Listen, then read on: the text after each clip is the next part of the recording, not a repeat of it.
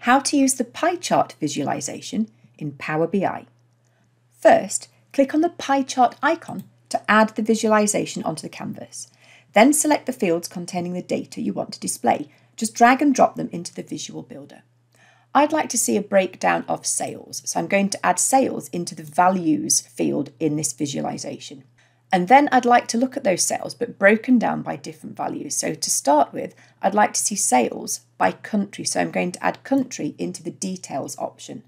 And in the chart, you'll see the sales in that pie area are broken up with the size of those pie pieces representing the size of the sales in each country.